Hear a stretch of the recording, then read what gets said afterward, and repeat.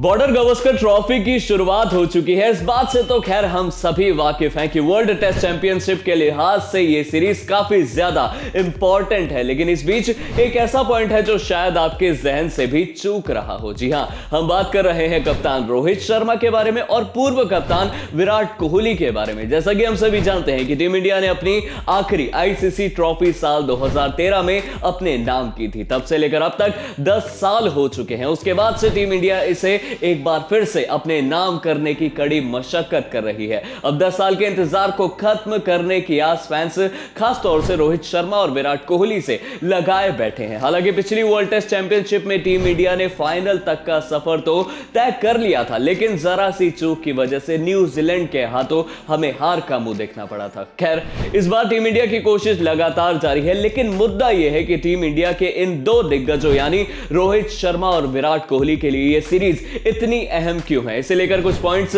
हम आपके सामने रखेंगे। तो बहुत बहुत स्वागत है आप सभी का स्पोर्ट्स नेस्ट पर, और मैं हूँ आपके साथ ध्रुव। तो आइए, करते हैं शुरुआत। बस वीडियो के एंड तक बने रहिए आप। रोहित और विराट से खास उम्मीदें किस लिए? टीम इंडिया में दिग्गज खिलाड़ियों को लेकर ज़िक्र करें तो इसमें रोहित शर्मा और विराट कोहली सबसे आगे आते हैं। दोनों ही खिलाड़ी टीम में सबसे सीनियर है। रोहित शर्मा 35 साल के हैं और विराट कोहली 34 साल के हैं। ऐसे में जो ध्यान देने वाली बात है वो ये है कि टीम इंडिया के इन सीनियर खिलाड़ियों के पास वर्ल्ड टेस्ट चैंपियनशिप और बॉर्डर गवस्कर ट्रॉफी में हिस्सा लेने का यह आखिरी मौका भी हो सकता है। ऐसा हो सकता है कि अगले डब्ल्यूटीसी और बीजीटी में रोहित और विराट नज़र ना आए। वही दूसरी तरफ़ जैसा कि मैंने आपको शुरुआत में बताया था कि टीम इंडिया बीते 10 साल से आईसीसी ट्रॉफी जीतने की कोशिश कर रही है, जिसे लेकर इस बार फैंस को इन दो खिलाड़ियों से टीम को जिताने की खास उम्मीदें हो सकती हैं।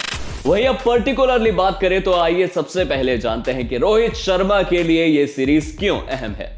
कप्तान रोहित शर्मा के लिए इस सीरीज़ को जिताना बहुत बड़ी ज़िम्मेदारी है। ज़िम्मेदारी इसलिए क्योंकि हिटमैन की कप्तानी में टीम इंडिया पहली बार इतनी बड़ी सीरीज़ खेल रही है और ये सीरीज़ डब्ल्यू के लिहाज से तो काफ़ी ज़्यादा इंपॉर्टेंट है ही।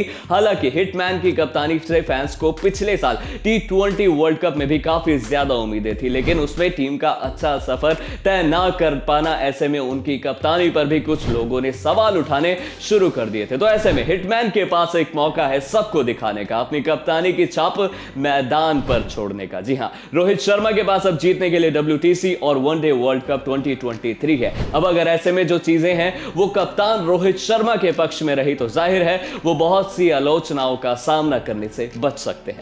और अब आइए जानने की कोशिश करते हैं कि टीम इंडिया के पूर्व कप्तान विराट के लिए यह सीरीज़ क्यों अहम है।